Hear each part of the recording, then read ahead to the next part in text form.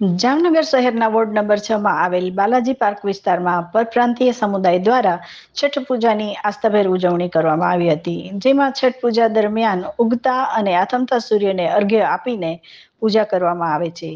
જ્યારે આ કાર્યક્રમ માટે છઠ પૂજા સમિતિ બાલાજી પાર્ક જામનગરના પ્રમુખ રાજેશસિંહ સહિતના આગેવાનો દ્વારા તમામ વ્યવસ્થા કરવામાં આવી છે. આ કાર્યક્રમમાં વોર્ડ નંબર છ ના કોર્પોરેટર એડવોકેટ ફુરકાન શેખ, શહેર કોંગ્રેસ પ્રમુખ દિગુભા જાડેજા, આહિર સમાજના યુવા પાકના પ્રમુખ મહેશભાઈ નંદણિયા સહિતના મહાનુભાવો કાર્યક્રમમાં ઉપસ્થિત રહ્યા હતા.